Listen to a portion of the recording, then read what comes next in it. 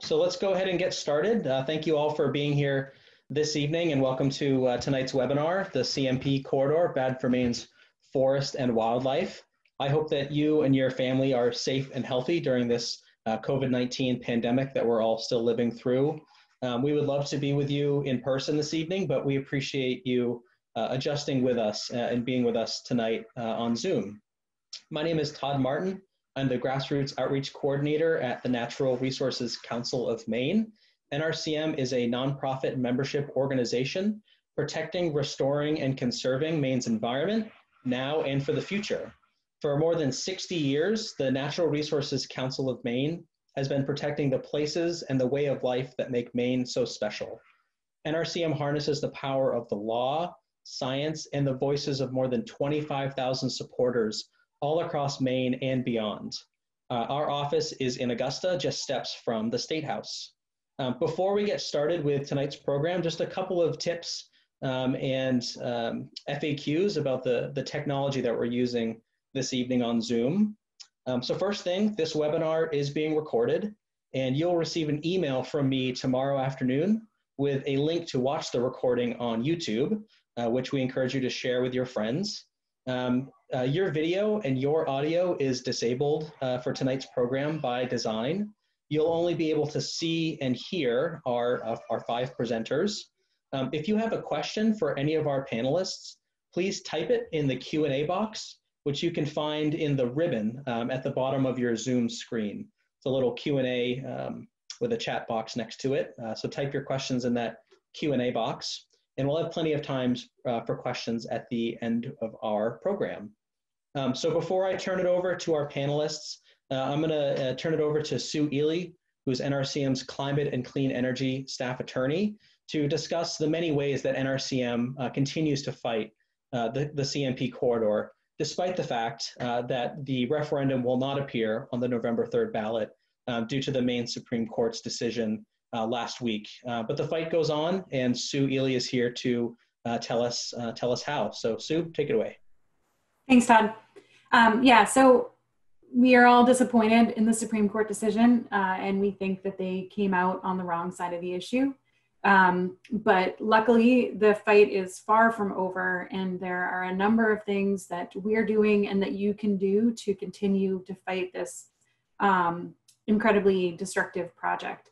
So, um, just a little bit about what we're continuing to do. Um, we uh, have challenged the Department of Environmental Protection's permit. Um, that challenge is pending. Um, we've appealed the decision to the Board of Environmental Protection um, and uh, a number of other groups have joined uh, with us in that appeal. And so that is ongoing. Um, we also are active in a lawsuit that's challenging the validity of CMP's lease uh, to cross public reserve lands um, that is also pending. Uh, we have um, we have very strong reasons to believe that they um, they really made a big mistake um, in not getting uh, a legislative vote for permission to cross public reserve land and have um, challenged the leases on those grounds. Um, we also are continuing to watchdog the Army Corps of Engineers process for evaluating the environmental effects of this project. Um, and this is a place where we can use your help. Um, and if you haven't already, uh, it would be a great thing for you to do. Um, and Todd's gonna send an email follow up afterwards with some details around this. But um, anybody who hasn't already can contact the Army Corps of Engineers and ask that they do a full environmental impact statement. That's an EIS um, on this project, and that is a, um, a full, a fuller environmental review than what they've done so far on the significant um, environmental and cultural and social and economic impacts of this project on um, our Maine environment. Um, uh, we have received a, a lot of help. Um, Congressman Golden just recently sent a letter to the Corps asking them to do a full environmental impact statement. So if you live in his district, another action that you can take is to send him a letter uh, thanking him for his action and reinforcing that this really is not what the people of Maine want. So if you if you live in the congressman's district, please send him, drop him an email, phone call, a text to say thank you. Um, if you uh, if you want to take even further action, um, we also need folks to reach out to um, Senator, our senators, Senator King and Collins um, and Representative Pingree, and ask them to follow Congressman Golden's lead and also request an environmental impact statement from the Army Corps. Um, so those are just a couple of the things that you can do to help us in this fight. But um, please take heart that there are so many different avenues to fight this project um, and that there are still many, many ways uh, to fight it. And there's a lot of fight left. So um, I hope that you enjoyed the presentation today and our panelists, um, but uh, keep on keeping on. Thank you very much.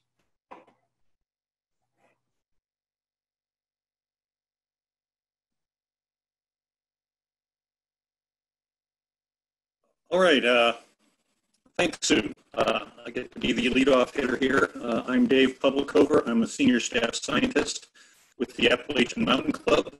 Uh, I've been there uh, nearly 28 years. I'm a forest ecologist.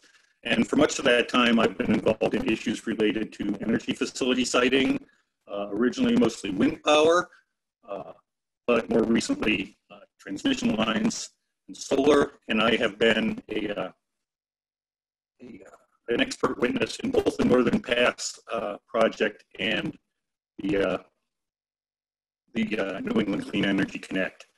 So next.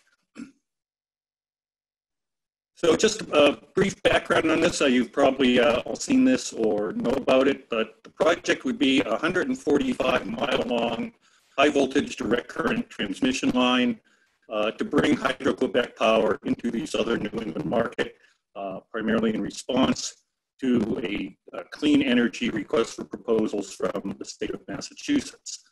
Uh, it includes 53 miles of new corridor, which is the upper part in, in orange, coming in uh, across the Canadian border at the headwaters of the Moose River in Beattie Township, west of Jackman, uh, connecting across uh, to a existing corridor in the Forks, and then uh, heading south, uh, expanding uh, the existing corridor down to Lewiston. So next, please.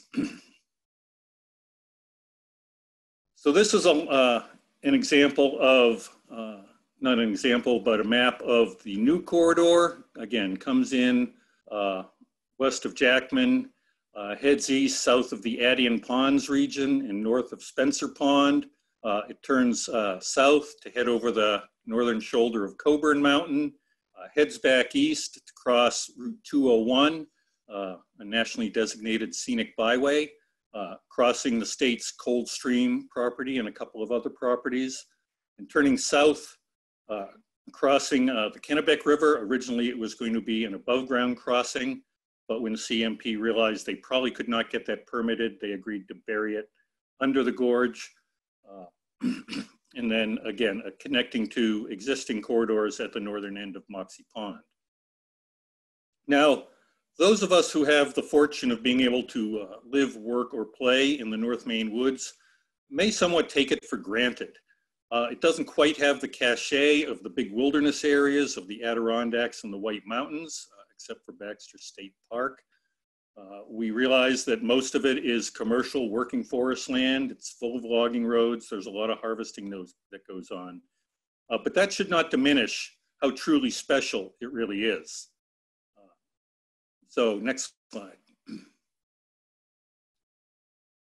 The Western Maine Mountains, to put it simply, is the heart of a globally significant forest region that is notable for its lack of permanent development and fragmentation and high level of ecological connectivity. And if you look at any measure of human impact on the landscape, whether it's population density, uh, public roads, or the presence of uh, developed and agricultural land, the North Maine Woods is really a big blank spot on the map. Uh, and uh, it truly stands out uh, in the eastern United States. If, if you imagine a scale of human impact starting with big wilderness on one end and downtown Manhattan on the other. The North Maine Woods is pretty close to the wilderness end of the scale. Really, the, the only uh, major impacts are logging roads and timber harvesting. Uh, but despite that, it has not been converted to uh, you know, large scale plantations like the southeastern United States pine forests. It retains a relatively natural forest composition. And it's one of the few places in the eastern United States that can still support the full range of uh, native wildlife species. Uh, next, please. You can also see this on a map of nighttime lighting in the United States. Uh, again, you can see the extensive networks of cities, towns, roads in the eastern United States. And you can see that big dark spot up in the uh, upper right-hand corner of the map. That's the North, North Woods of Maine. So next slide, please. And this has been recognized in a wide range of documents and analyses, and including some from uh, Maine state agencies. Uh, the Land Use Planning Commission's comprehensive land use plans recognizes that the forests of the jurisdiction, which are the 10 million, the jurisdiction is the 10 million acres of Maine that is unincorporated territory. They are part of the largest contiguous block of undeveloped forest land east of the Mississippi. Next slide. Uh, the plan also says remoteness and the relative absence of development in large parts of the jurisdiction are perhaps its most distinctive feature due to their increasing rarity in the northeastern United States. Uh, they recognize that this is a special and different type of uh, landscape. Next slide. The state's uh, uh, Inland Fisheries and Wildlife State Wildlife Action Plan also states that northern Maine is unique as the largest area of undeveloped natural land in the eastern United States. Uh, critically important uh, for a right, wide variety of reasons, recreation, uh, timber economy, but especially for the habitat it provides for species, uh, especially those that needs large areas to maintain viable populations. And next slide. And a report done by Janet McMahon, who's one of the state's uh, most respected ecologists, uh, states that the Western Maine Mountains region lies at the heart of the Acadian forest, the largest and most intact of temperate forest in North America and perhaps the world. Uh, next slide. Uh, we can see this in a study that was done by the Nature Conservancy uh, the areas in green represent the temperate broadleaf and mixed forest ecoregion, which are parts of the world that are uh, uh, temperate, uh, not northern, not tropical. They have a seasonal climate. They have a mixture of uh, evergreen and broadleaf trees. and they occupy primarily the eastern United States, much of Europe between the Mediterranean and the more northern boreal area, and Eastern Asia, Ch China and Japan. These are some of the most heavily populated and heavily settled parts of the world. Uh, this biome is quite amenable to human civilization and has been for a long time. It has abundant rainfall, has abundant resources in terms of uh, uh, food, in terms of, uh, in terms of wood, in terms of water, uh, you know, reasonably good agricultural soils. So it, this uh, this area has been a, you know, this biome has been a focus for human settlement for, for 10,000 years. Next. this shows what's left uh, in terms of large, relatively undeveloped blocks. And you can see that the largest area is that big blob of yellow in the north, uh, far northeastern part of the United States, encompassing the North Maine woods and parts of maritime Canada. Next. Uh, the Nature Conservancy has also done a, a, very widely respected and used analysis uh, used for conservation planning called the, the Resilient and Connected Landscapes Analysis. It identifies those areas that are best suited uh, to allow species to adapt to uh, a changing climate. And one component of it is local connectedness, which is a measure of fragmentation. Uh, it measures how well species can move across the landscape uh, given the presence of barriers such as roads and development. And again, you can see the, you can see the Adirondacks stand out, uh, the long corridor from uh, the White Mountains of New Hampshire up through northern Maine uh, and extending into parts of maritime Canada. Uh, next. The National Audubon Society has recognized the value of the North Maine woods by designating uh, the region as the largest globally significant important bird area in the country uh, in recognition of the fact that it is able to support the full suite of native bird species. Next. Another regional initiative called the Staying Connected Initiative, which is uh, working to maintain the habitat connectivity across the region uh, and, and, maintaining that ability for species to move across the landscape. It includes environmental organizations, a number of state agencies, including uh, Maine Inland Fisheries and Wildlife and Department of Transportation.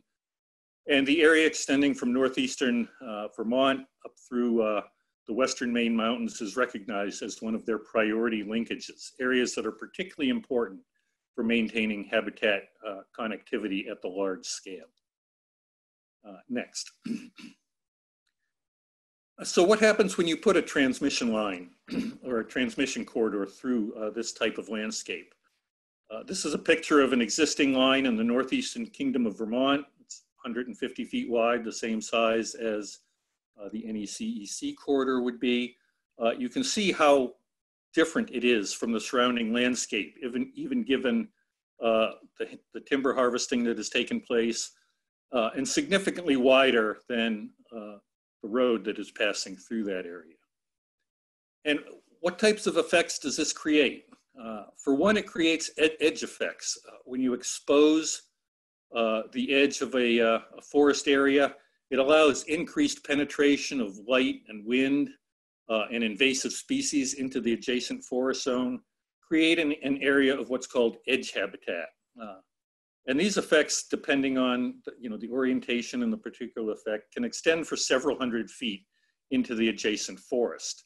Uh, it changes that habitat uh, and makes it into a, a more transitional habitat. With that comes the loss of interior forest habitat which is forest area that is has a relatively continuous canopy uh, and which is removed from edges. Uh, and there are numbers of species uh, that prefer or require interior forest habitat. They don't like edges, they don't like young forest, uh, they like more continuous uh, mature forest away from the impact uh, of edges. And the edge zone and the area where existing or potential interior forest habitat can be lost can be, can be larger, uh, three to four times larger than the actual area cleared for the corridor. And it also creates an impediment uh, to species movement. Uh, this is not the Great Wall of China. It's not an absolute barrier, and many species will not be impacted. Deer, moose, bear, uh, many other types of species that are perfectly comfortable using open or young forest habitats will have no problem crossing it. Uh, the issue is with uh, species that require interior or mature forest uh, and don't like the exposure of open areas. Uh, the most notable uh, example uh, is American marten, but also it includes numbers of salamanders. and this, creating a corridor such as this, essentially separates populations on one side or the other. It doesn't mean that marten won't cross it, but they may expend a lot of energy moving along the edge of the corridor trying to find uh, a pathway through it. Now, CMP in their application has continually characterized this landscape as, uh, you know, heavily intensively managed industrial forest and essentially comparing the corridor to just another large clear cut essentially they're saying the landscape is already trashed, so what's, what's the big deal? Well, the corridor is not the same as timber management for a number of reasons. Uh, for one thing, it creates permanent early successional habitat rather than the shifting mosaic of patches of, of different ages and sizes uh, that exist from timber harvesting. Uh, it, it's an extended linear feature that will extend across the entire width of the Western Maine Mountains region. Uh, marten can go around a clear cut. Uh, they can't go around this. They have to cross it and they don't like to do that. and it's also wider than even the largest logging roads. Uh, the primary logging road through this, through this region is the, uh, the Spencer Road. And if you look on Google Earth, you can see that the width of the, the sort of cleared corridor from one edge of the forest to the other across the road is at most 60 feet. Uh, this would be two and a half times wider than that. So again, for species that don't like crossing open areas, this becomes a much wider barrier. Next slide. So this is part of the area through which it will pass. Uh, this is an area south of the Attean Ponds and number five bog. For those of you familiar with the area, Whipple Pond is there. Uh, the Spencer Road is coming in from the right-hand side and bends down uh, towards the bottom. And you can see again that this is uh, this is a mosaic of uh, a mosaic landscape. There's evidence of timber harvesting throughout it. You can see partially harvested patterns where there's skid trails, uh, particularly south of Whipple Pond. You can see some areas that are regenerating clear cuts of different sizes. Uh, some of the open areas around the open water are wetlands. Uh, but again, uh, something like an American marten uh, will be able to travel through this landscape. They may have to meander their way from you know, more mature forests, but they're really no, the most significant barrier to their movement is the Spencer Road. Uh, next slide. so this is what it looked like when you put the corridor through it. Uh, again, just creating a barrier across the region. Uh, a continuous, long, wide stretch of young and open forest habitat uh, that is both quantitatively and qualitatively different than the surrounding mosaic of, of forest stands. Next slide. Now, one thing that was a major issue in, in the permitting was the fact that uh, CMP completely failed to assess uh, less damaging alternatives uh, to the project. Uh, the permitting requires them to, uh, to consider alternative routes, and the two alternatives that they considered were completely impractical. By their own admission, they probably could not secure those routes, and they were uh, certainly would be more damaging. One of them came down through the Magalloway River and Rangeley Lakes region. The other one came down through the, through the Bigelow and Flagstaff region. But these are two of the other competing projects that were, were uh, bid into the Massachusetts Clean Energy RFP. Uh, one of them is from Vermont, the, the Clean Power Link. Uh, this project would, uh, much of it would uh, be underwater down Lake Champlain with the remainder uh, heading east-west across southern Vermont, would be completely buried along uh, highways and railroads. Again, no uh, above ground, no new corridor.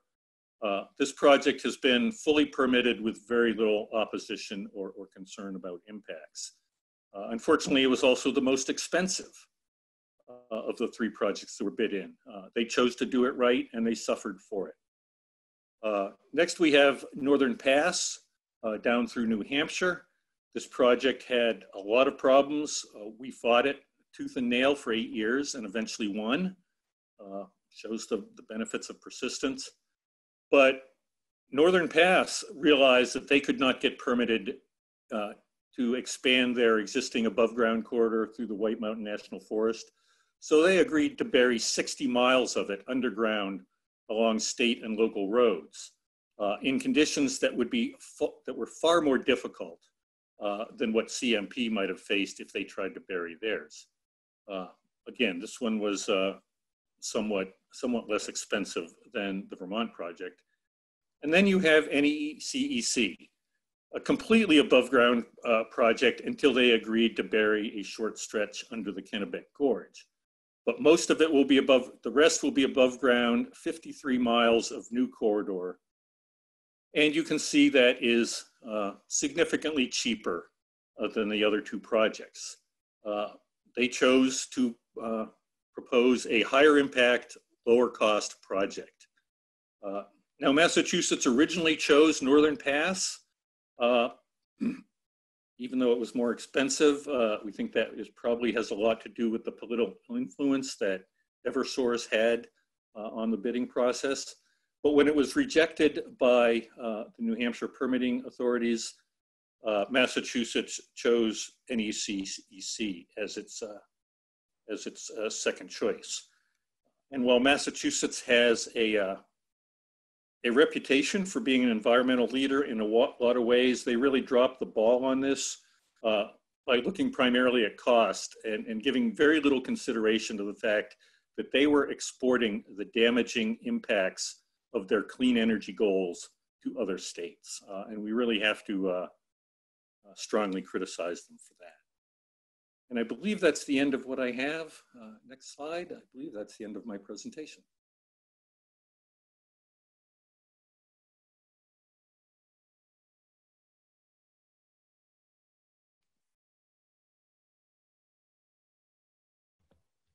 Uh, so Jeff, uh, you're up if you want to take yourself off mute there. There, now folks can hear me. Um, so my name is Jeff Reardon. I, I work for Trout Unlimited. Um, uh, I'm going to give you the uh, aquatic perspective, uh, and in particular, the perspective for brook trout. I work for Trout Unlimited. We're a conservation group whose mission is to conserve, protect, and restore North America's trout and salmon fisheries and their watersheds um, and for us, I'll just say, and I'll, I'll, I'll, show some of the reasons for this, but this portion of Western Maine um, is the most significant wild trout resource anywhere in the East. Um, and it is comparable with the wild trout resources that lots of people travel to Montana, Idaho, uh, Wyoming, even Alaska for. Uh, it's an intact resource um, uh, very much on par with, with any other cold water resource that exists in the world. And it's, it's been a, a destination fishery, a place people traveled to fish uh, since the mid 1800s. Um, Dave said, and I think he's right about this with respect to, to lots of recreational uses, that the Western Maine Mountains does not have the cachet of the Adirondacks or the White Mountains, but among among anglers in particular, it does. This is this has been a place that people have gone and spent money to hire guides and go fishing for a very long time. Next slide. Um, so I, I grew up here in Maine. Uh, I started fishing the Western Maine Mountains region in the mid 1980s uh, and have been fishing it ever since. I now live in the Augusta area, and um, this is the you know this is the closest really good wild trout fishery to my house. I spend um, days and in some seasons weeks in the region every year. I, I know it very well. Um, this is similar to some of the slides that, that Dave showed that compared um, terrestrial impacts uh, in, in, uh, in northern Maine to what's present in the states around us. In this case, we're looking at uh, a measure of aquatic habitat degradation. Uh, and the scale that you're looking at uh, runs from pink, which is the least degraded habitat, to bright red, which is the most degraded. Um, and you can see that um, with the exception of Maine and a little corner of, of Vermont and a little corner of New Hampshire, uh, habitat in the pink category is extremely rare. Uh, it's quite common in Maine, and in fact, the entire Maine border with Quebec um, is is in that um, in that undegraded condition. This is uh, looking at, at some of the same measures of fragmentation that Dave looked at, but for, for water, what really matters here is things like dams, culverts that block fish passage, um, hard development that creates impervious surfaces like rooftops and parking lots. And as those of you who know the region know, uh, Western Maine does not have many of those. Uh, and in particular, the region west of Route 201 doesn't have much. Next slide. Um, you see that reflected in the quality of the brook trout populations. Uh, in 2006, there was an assessment done that looked at the um, uh, uh, status of populations and threats to populations in a region that ran from Maine south to Georgia, which is the native range for brook trout in the US. Uh, and uh, there, I've just pulled a couple of quotes out of their report here. Uh, Maine was identified as the last true stronghold for brook trout in the eastern U.S. Um, Maine has as many intact subwatersheds as all other states combined. There were a total of 17 states in this assessment. So take every other state from New Hampshire to Georgia. Uh, Maine's got more intact brook trout habitat than all those states combined do.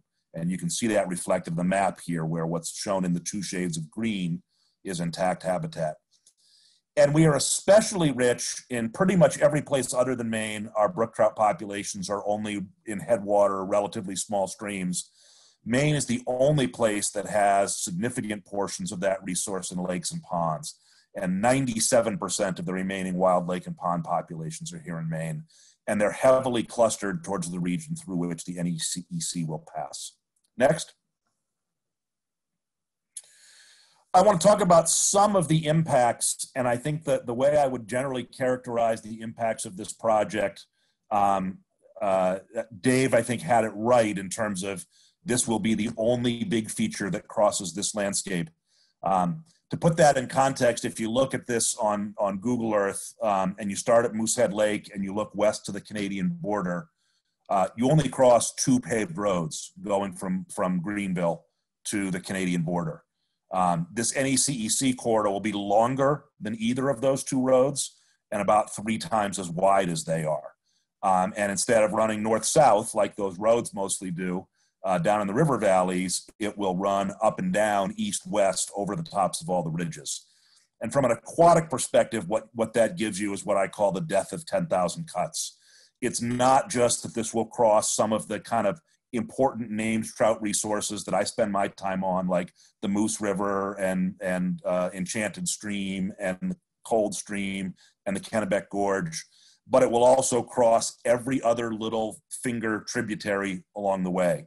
So here we're looking at a section where the NECEC would cross the south branch of the Moose River um, out in, I think this is just south of Beattie Township. Um, there'll be 18 stream crossings, and what I'm showing here is about a mile of the NECEC. So there's 53 miles of greenfield like this that, you know, within each mile has um, anywhere from 10 to, in some cases, as many as 20 crossings uh, per mile. There are 300 plus total stream crossings of brook trout bearing waters um, in segment one. And if you add up all of those little 150 foot slices, because that's the width of the corridor, it totals over 11 miles of stream. And that's not my number, that's CMP's number. That's what they put in their application. Next, please. Um, another example of this, just again, think about the death of 10,000 cuts. Also think about the, the value of good planning and the um, harm of the absence of it. Uh, Peel Brook is a very significant brook trout tributary. It is the spawning tributary to a lake called Parlin Lake. Um, where the stream crosses it well up in its headwaters. And you know, you could have designed this so that you had one crossing of Peel Brook and limited that impact to, to a single 150 foot crossing. Instead, just by the route they chose, I don't know why, they end up crossing it twice in less than a mile. So they jump from one side of the brook to the other, and then they jump back again um, frankly, they could have avoided both of those crossings and gone through with much less impact on it. And this is just an example, but if you look cumulatively at their stream crossings, you see those kinds of features over and over again. They're trying to build a straight line across resources that are, are curved and complex, and that results in multiple impacts in, in many places. The other thing is to, to look at is not just how many crossings are there, but how often is that corridor very close to the stream we talk a lot about the importance of the first hundred feet between the stream um, and and and the uplands uh, and keeping that intact. The crossings violate that, but then the rest of the forest outside of that also contributes to the cold water and and groundwater and refill and, and recharge and other things that are important to brook trout. And the fragmentation in the near stream area has impacts on that. And in this case, the line runs for for more than a mile and never gets farther from the brook than 800 feet.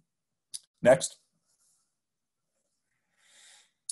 Um, I talked about Maine's brook trout pond resource a little bit earlier.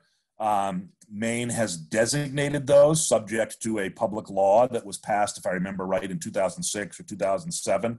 We have a something called state heritage fish waters, which are um, brook trout for the most part, and also Arctic char um, populations that are in. It's a lake or pond that contains a wild population of brook trout that has either never been stocked or it may have been stocked historically, but not in at least 25 years, which would be five generations of brook trout. If they're still hanging on after that, we're, we're not looking at what's left from the hatchery.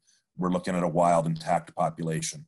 There are about, uh, there are about uh, 575, 580 of these ponds designated in Maine. Um, the NECEC will cross close enough, and close enough here was within about half a mile that I think it's going to have impacts on seven of those as it passes through this 53 miles in Western Maine. And the example here um, shows rock and iron pond. Rock pond has been a destination fishery. I started hearing about rock pond when I was about six years old. I've, I've fished it many times. Um, they're going to cross, uh, I believe, uh, 800 feet um, right behind what is the most popular campsite on Rock Pond. Um, and similar impacts on a number of other ponds that are to the west and east of what we're showing here. Next slide, please. Uh, Sue talked a little bit in her introduction about the public lands impact and about um, NRCM's challenge of the public lands lease. This is an issue near and dear to my heart. Uh, on behalf of Trout Unlimited and working with the Trust for Public Land, I spent about five years of my professional life working to conserve the 8,000 acre Coldstream Forest. Um, it is the first and, and only conservation project in Maine that was specifically designed to protect brook trout habitat. And we set out with the goal of protecting Coldstream literally from its source at Coldstream Pond to its mouth on the Kennebec River. Uh, we succeeded in protecting all of that corridor except for a very narrow strip along what's known as the Capitol Road, which is a major logging road just to the east of um, Route 201. Um, and uh, unbeknownst to us, while we were negotiating to help the state buy that land, the state was negotiating with CMP to run the NECEC corridor through that 400 foot gap. Uh, 100 feet of that is the Capitol Road, and they, the NECEC took the other 300 and literally ran right up to the border of, of the Coldstream parcel. If you see the long, skinny parcel along the left side of the map with a big red line crossing it, um, that, that is the NECEC crossing where it goes across Coldstream. To add insult to injury, they then ran it to the west and make a 90 degree turn, or sorry, to the east, uh, to the right, make a 90 degree turn and head south, and they go across two other parcels of land that the state of Maine has owned for a long time we specifically designed our project to abut those to get some um, benefits out of um, you know protecting both both sets of parcels. Uh, those parcels are the watershed for Tomhegan Stream, which I'll talk about in a minute, which is the most important tributary to Coldstream, which was our goal to protect. Uh, I will say I, I, number one, was involved working with BPL very closely on land conservation in this region from about 2011 up through the present. Uh, and I was asked to serve on their advisory committee that wrote the management plan for all of the public lands that you're looking at here, plus others to the north and south. And at no time did BPL engage the public or even those of us on their selected advisory committee in what do we think about the NECEC, what do we think the impacts on public lands will be, and, and those impacts are going to be significant. Next slide. Uh, this is zooming in on that crossing of Coldstream. Uh, you see it. I'm sorry, sorry, my color has changed here. The the green, the red line is still the center line. Uh, the yellow shaded area is the cleared corridor. Dark blue here are streams that are being crossed, and the green, the, the bright green, green blocks are the two cold stream parcels. And you can see how the NECEC corridor has been shoehorned in uh, its impacts, uh, one of their justifications is, well, this is already screwed up because of the Capitol Road. Um, but what they do is take the impact of the Capitol Road and then they put something that is three times wider and stick it right next door. So we, we go from one impact to four times as much impact in this crossing. Um, and as we go downstream to other areas they worked on, things get a little bit worse. So the next slide. Um, after the parcel heads south across the Johnson Mountain lot and the West Forks lot, um, I think this is probably from a brook trout perspective where the impact is worse at a single site. Um, they cross Tomhegan Stream. And I want to just give a little bit of background here. Um, we have a very good, very robust brook trout um, radio tag study. That slide in the lower right, uh, the photo there, you can see somebody, he's actually inserting a radio tag into an adult brook trout those trout were caught in the Kennebec River. And the reason we were putting tags in them is we wanted to see two things. Where do they go in the summer when the Kennebec gets too warm for them? And where do they go in the fall to spawn? And the answer is they go into Coldstream and they go into Tomhegan Stream, which is why we spent so much time, effort, and $8 million of public money to protect that corridor. Um, and a very large proportion of the fish that come out of the Kennebec up Coldstream will then go up a tributary to Coldstream called Tomhegan Stream. Um, And where the NECEC crosses Tomhegan Stream, they could have picked a place to just cross the stream once and minimize their impact, but they're crossing it in an area where it's braided through a big wetland complex, and there are nine stream crossings in 1,200 feet of linear corridor. So it's not just one crossing with 150 feet cleared, it's nine with all the impacts on temperature, loss of shade, removing vegetation that that will imply. And that's just upstream of the section of stream that those radio tagged fish were swimming up to spawn into. So the impacts on, on an area about a quarter mile downstream are going to be quite significant. Next slide. And just this is my last slide, uh, an, an, issue to think about. We, we did not emphasize this much in our comments, but if you looked at the map that Dave started us with, there is an eastern branch of this. I do not understand what purpose it serves. You'll have to ask an electrical systems engineer what that is. But they are also doing some upgrades on what used to be the power lines that ran from Maine Yankee up along the Sheepscot River and ended at a big substation in Windsor. Um, and what I want you to think about is, is, look at this, this slide. I used to work on the Sheepscot River before I worked for TU. And I want you to think about the idea of what happens once a single corridor has been constructed. Because once that one power line was built from Maine Yankee up along the Sheepscot, what we saw happen between I think Maine Yankee was built in the in the early 70s, um, and by the time I was working in the watershed in the mid 1990s, it, it it had become the route along which two more power lines followed it, one on one side of it, one on the other, and then when Maritimes Northeast built a gas pipeline through that part of coastal Maine, the Maritimes Northeast gas pipeline came in here too. Now, what CMP is proposing to do is to go in, and, and frankly, if you look at this aerial photo, uh, the NECEC is in um, red, the cleared area is in yellow. Um, all of the other cleared area you see there, somebody may say a lot of that's farm fields, but the vast majority of it is underneath power lines or the Maritimes Northeast gas pipeline. Once this one corridor is built, we will see additional corridors be built that either connect to it or run parallel to it. And in fact, CMP is building a 150 foot wide corridor, but they've acquired the property rights for a 300 foot wide corridor. And we, you can I bet your bottom dollar they've got plans for that other 150 feet.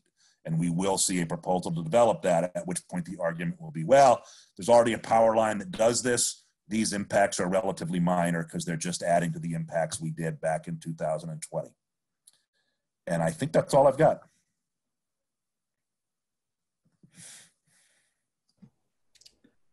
Hi, everyone. So my name's Chloe Rowse, and uh, thanks again for joining us today and continuing to be part of this fight. It's not over yet. Um, so Dave gave you this great overview of the impact on the Maine woods, and then Jeff just gave you that aquatic picture. And I'm going to share some uh, personal experience related to the impact of this corridor. Um, next slide. I'm a native Mainer, Appalachian Trail through hiker, registered Maine guide, and the founder and director of a small Maine-based nonprofit. So we run summer camp here for girls in Maine, and my career and my life are really dependent on the health and beauty of Maine's environment. Maine's economy needs more young people to live, start businesses, and join the workforce here. And Maine's outdoor recreation economy is huge. So the Outdoor Industry Association estimates that 76,000 direct jobs are generated by the outdoor industry, along with 2.2 billion in wages and salaries, 8.2 billion in consumer spending, and 548 million in state and local tax revenue. So it's a huge draw. But population growth and the attractiveness of Maine really depend on how well we protect and promote what defines us, our environment and the unique natural beauty of our state. Our tourism industry depends on it, and really the health of every Mainer depends on it. I know now more than ever, for myself personally, and I can imagine for many of you as well, the Maine outdoors has been invaluable during this pandemic. And it's for all these reasons that I'm strongly opposed to CMP's proposed transmission line cutting through this western part of Maine. Uh, next slide. So I was born and raised here. My sisters and I grew up hiking and swimming in the lakes and mountains of the west of western Maine. And we developed this appreciation for the clean water and quiet mountaintops and this just peaceful, pristine serenity that is so abundant in the nature around us here.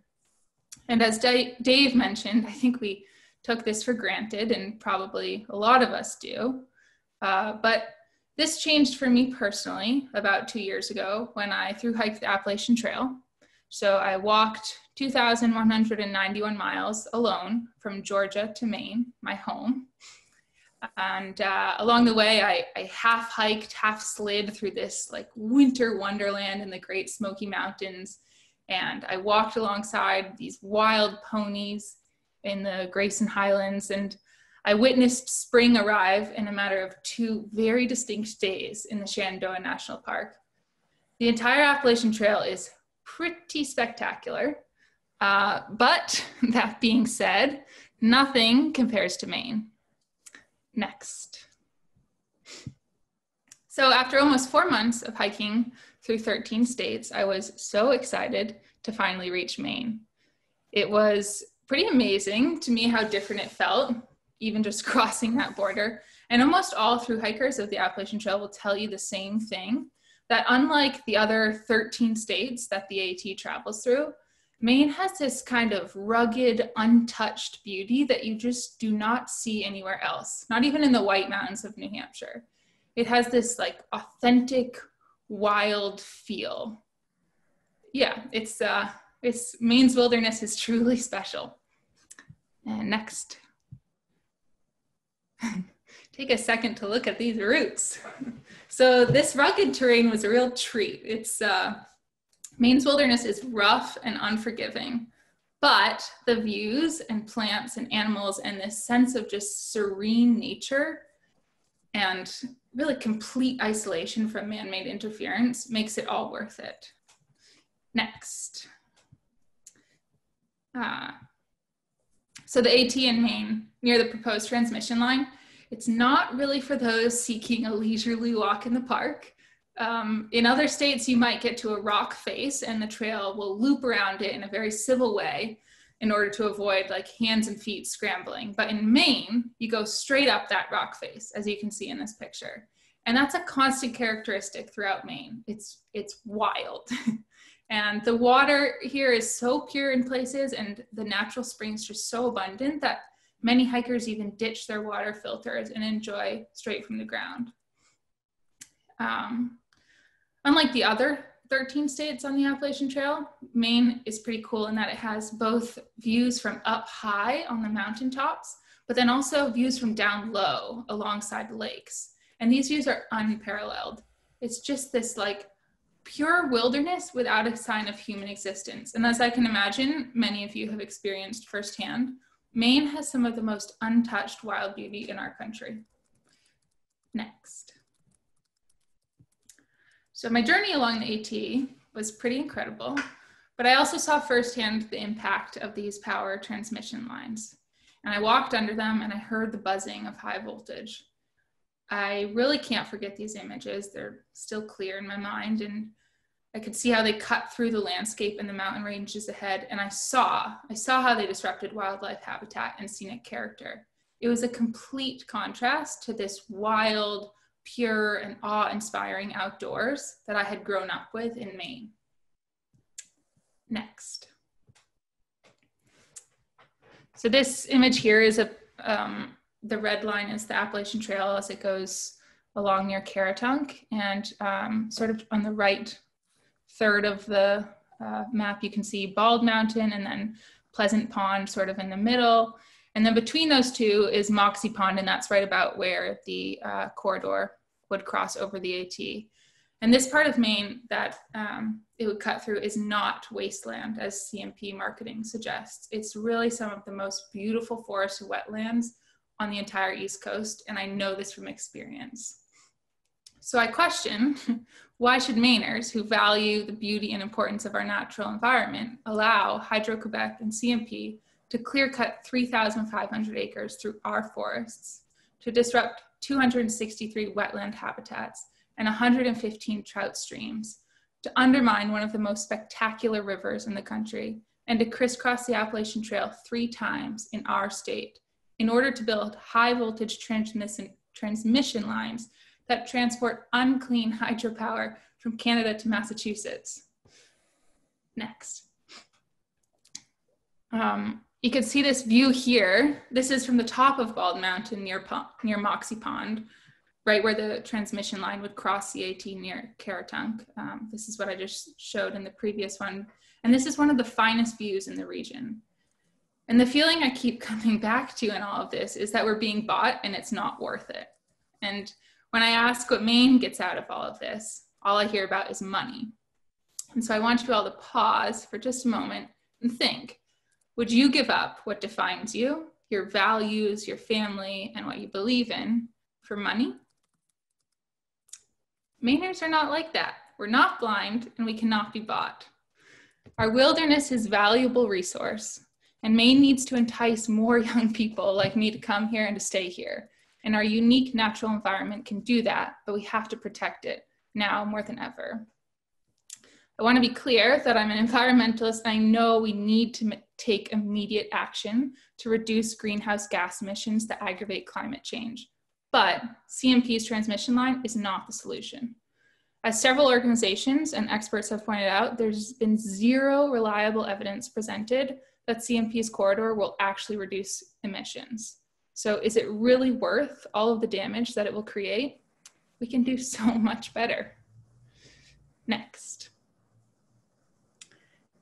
And uh, I saw this quote a while back, and I just keep returning to it when thinking about this fight. Can take a second to read it.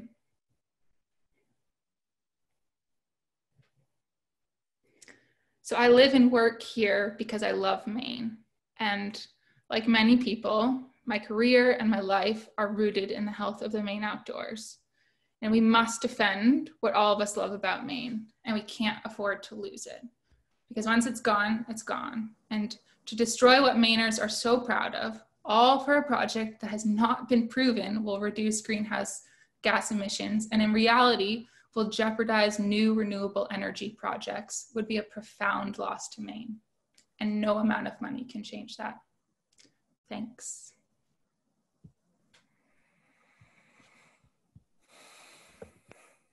Excellent. Well, thanks uh, so much to our, our panelists this evening, Dave and Sue and, and Jeff and, and Chloe. Um, you all have been uh, in the trenches on this fight for, um, for many months and um, sometimes uh, longer than that as well. So um, thank you for, for fighting this fight and for continuing to fight this fight because it's, it's certainly not over, even though this won't be on the ballot this November. So, um, so we do have uh, time for some questions. We're running a little bit over, but think our panelists uh, will be able to stay on a little bit past 7 p.m. So again, if you have questions for any of our panelists, please uh, type them in the Q&A box at the bottom. And I'm going to start with this uh, with first question. Um, let's see here. Um, so Jeff, I'm going to pitch a question over to you. Um, it's a question about, um, had heard that CMP had agreed to uh, reduce the width of its corridor from 150 feet down to 54 feet uh, because of the DEP permit, but um, but uh, we're still very concerned about the impacts uh, that that would have. Can you can you speak to um, uh, to that issue? Yeah, so I, I, I think the way I, I characterize that change, and there, there, there, there were several other changes that they made um, as, as essentially conditions that DEP required.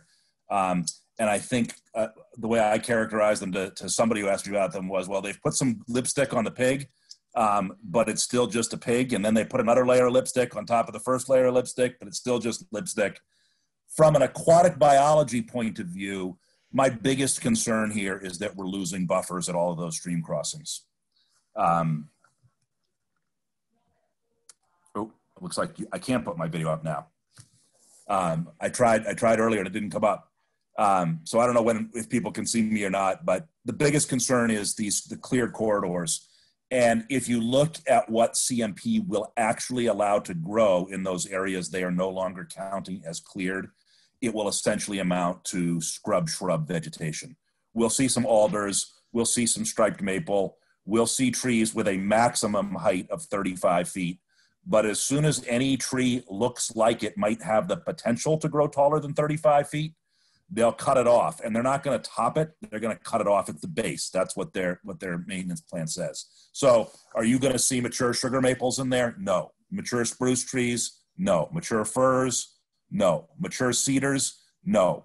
All the kinds of wood that i want to see on the bank of a trout stream to provide shade grow insects put food in the water fall down and create trout pools still won't be there. From an aquatic perspective it doesn't add anything Dave probably has some thoughts on the impacts for some of the wildlife species, but but uh, I suspect it's similar. We're not going to get back what we're losing.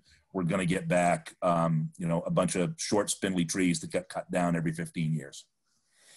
Yeah, when you when anybody tries to tell you the corridor width has been uh, reduced to 54 feet, don't believe it. Uh, essentially, originally the entire corridor was going to be maintained as scrub shrub vegetation, you know, 10 to 15 feet high, and anything taller that, than that would be cut down, uh, with a few exceptions uh, where, the, where they were going to maintain taller vegetation. But now they're going to essentially have tapered vegetation. The middle 54 feet under the lines will be maintained as no more than 10 feet high. Then you're going to have a narrow zone where the vegetation will be 15 feet high, and then you'll have a narrow zone where it'll be 25 feet high and then it'll be a narrow zone along the edge of the forest where it'll be 35 feet high, called tapered vegetation. And it may have some limited benefit in reducing edge effects, but it has very little benefit for you know allowing things like marten to cross it. Uh, and in many places, if, if, if the corridor goes through an area that is an even age 40 foot high stand, that whole thing is going to have to be cleared. It's going to be cut down. And then that vegetation will have to be grown back up. The corridor is still 150 feet wide. It's just it'll have a little bit taller vegetation, but it doesn't it doesn't address the concerns. Great, thank you both. Uh, I'm seeing lots of questions in the Q&A box uh, about uh, if the, le the Maine legislature um, can do anything at this point uh, to intervene. Um, Sue, can you speak to that if, uh, if the Maine legislature has, has uh, any authority at this point and what could possibly, possibly be done uh, through the legislature? Sure. So it may be that when the legislature, we, you know, it's it's adjourned. Um, there was the potential of having some type of special session, but at, at this point, it seems unlikely. Um, so we aren't going to have an opportunity to have our legislature reconvene until January. Um, so uh, it, it may be possible that there's a legislative fix come January, uh, but the um, legislative action at this time would be a little premature. It's, it's just so hard to know what the com com composition of the legislature is going to be. We have an election coming up. Um, you know, there's no opportunity for them to introduce legislation. So the focus for our efforts right now should be on the Army Corps of Engineers permitting process. I've put Jay Clement's email in the chat box, um, and Todd will be sending an email follow up um, that process is still ongoing. They are still completing an environmental impact statement. They have not issued a permit yet. And so the time is now and it is immediate um, for folks to reach out to the Army Corps and make it known. This project is going to have a significant environmental impact on Maine's North Woods. It is highly unpopular in the state of Maine. People don't want it and that we want a full environmental, social, cultural, economic reckoning of the impact of this project. And the way to do that is for the Corps to do an environmental impact statement. They have not done that yet. They have only done an environmental assessment. So if we want them to do an, an environmental impact statement, we have to ask for it and we have to ask for it in large, large numbers. So the, the immediate er-, need is to have to flood Jay's inbox with requests for an environmental impact statement. That's the best thing. Um, and then the other thing to do is to encourage your state and federal representatives to do the same. So, you know, whoever's district you live in, um, ask them to ask the Corps. Um, if you live in Representative Golden's district, he's already made that request. Thank him for it. Um, it is no small thing right now for our legislators to turn their attention from COVID to this issue. And so we want to be, we, we want to respond and say, thank you. This was a great thing for you to ask. Um, so reach out to your legislators um, and ask them to reach out to the Corps. Those are two concrete things that you can do right now, um, or you can do it when you get Todd's email tomorrow. Um, but it would make a huge difference. And that's where the fight is right now. And, and let me add that a federal environmental impact statement was done for the Vermont project. One was done for the Northern Pass project. Maine deserves nothing less. Yeah, and the key the key is um, it's a it's a significant impact. That's the question: is whether or not there's a significant impact on Maine's environment. Um, and so, just highlight the impacts that you are most concerned about in your request. And, and if I could add one other thing, uh, I, I would just people should be talking to their representatives also about the public lands issues that are involved here because these lands were acquired for the benefit of the people of Maine. Um, the lands that they're crossing through were all designated in the planning process as their primary uses were fish and wildlife habitat and timber.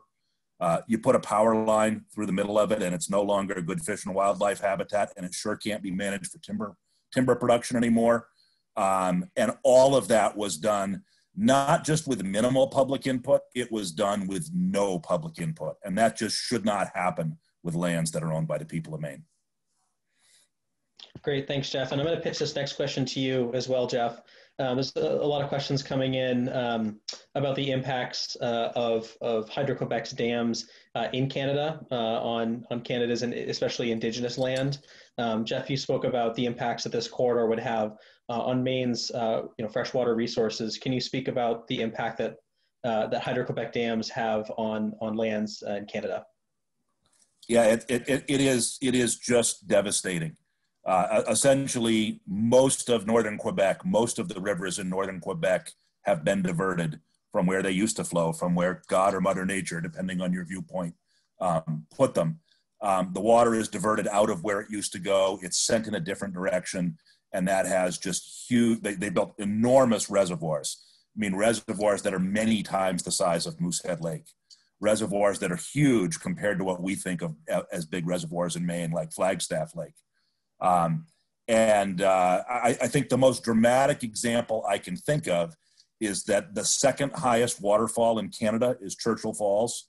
There is no longer any water falling over Churchill Falls anytime except when there's a severe flood because all that water is diverted out of the Churchill River and sent someplace else to generate power with. And the impacts of that, I mean, it's it's it's um, you know it's it's it's tundra and boreal forest, um, and you know millions of acres of it has been converted to reservoirs, and all of the rivers have been diverted to to other purposes. It's it's just devastating for fish and wildlife. Um, there's some really powerful stuff on the internet um, from native peoples uh, who, who, who live in that territory about what the impacts have been for them on hunting, fishing, traditional travel corridors, and things like that. But it's it's a uh, we, we've had a lot of hydropower development in Maine. I spent half my career commenting on hydropower projects, and nothing we have in Maine comes close to the kinds of impacts of these enormous projects in, in Quebec. Great, thanks, Jeff. Um, Sue, I'm going to pitch this next question to you. Um, it's a question about the impact that this uh, the CMP corridor uh, would have on the uh, the transmission grid and um, uh, blocking out, you know, uh, Maine-based renewable energy from the grid. Um, can you speak to to that concern?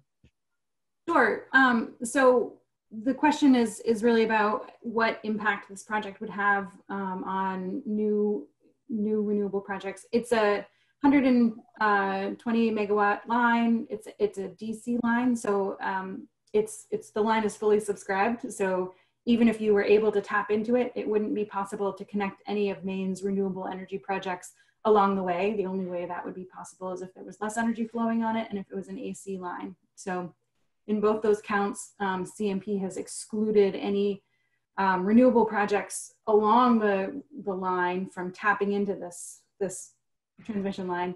Um, but it also is it's a it's a big slug of energy. Um, and so it is going to cause congestion on our lines. Um, cmp has made some concessions in the permitting process to try to increase um, capacity. Uh, but at the end of the day there's a bottleneck um, for maine to get its renewable energy to markets in massachusetts. Um, and this line only makes those congestion matters worse. So in this time when we really want to be growing Maine's renewable energy um, uh, economy here, we want to be encouraging renewable energy projects here in the state, which provide jobs in the state. It provides clean energy in the state and it's verifiable, um, those projects are likely to suffer um, as a result of this project. Great, thank you, Sue. Uh, we have time just for a couple more questions. Uh, we're already over time, but we appreciate our panelists staying on just a little bit longer and appreciate all of you uh, staying on with us as well. Um, so Dave, I'm going to pitch this next question to you. It's a, a question about how um, CMP corridor would, would impact the Kennebec River specifically. Um, could you talk um, about uh, the um, burial underneath the Kennebec Gorge and any other impacts the line would have uh, directly on the Kennebec? Well, I, I, can't speak to that from any great knowledge. Uh,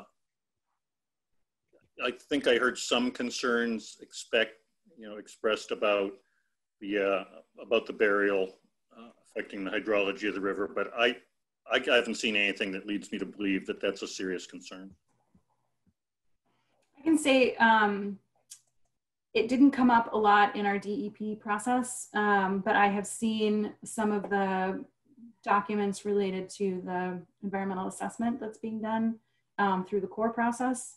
Um, and there, there are some questions about, um, you know, they, they're, they're drilling under the, under the river. And so there is um, always at that point a risk of um, the drilling material spilling, um, but it hasn't been evaluated. It hasn't been investigated. and then I, it didn't get a it didn't get a thorough vetting in the DEP process, um, but it it looks like it's getting a closer look now, and I, I don't know what the answer is going to be.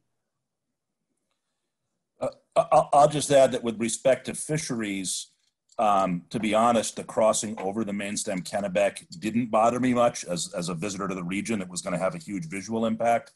Um, but the crossings on all of the tributaries do you need to think about the fish population in these big rivers like the Kennebec as migratory.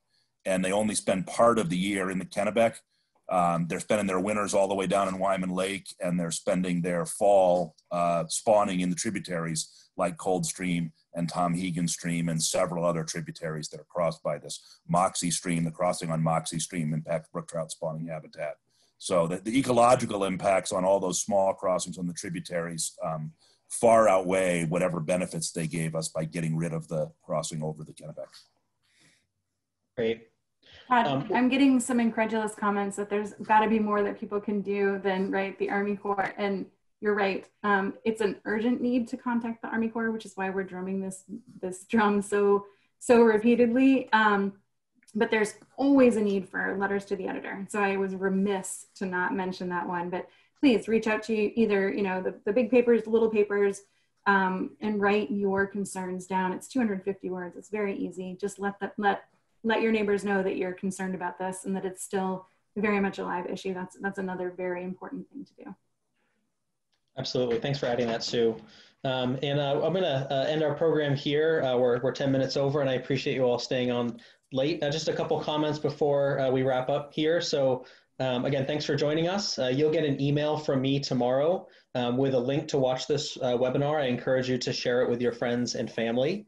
Um, and you'll also, the, my email will also contain um, the action items uh, that we're asking folks to take, contacting the Army Corps, writing a letter to the editor, um, calling your state and federal lawmakers. Um, this fight is certainly not over. It, the Northern Pass Project went on for, the fight went on for eight years. Uh, and so, you know, we've been fighting this for a couple of years here in Maine.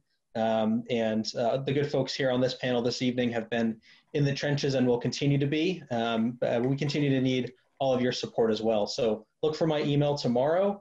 Um, and I hope that you all have a good evening and thanks for joining us tonight.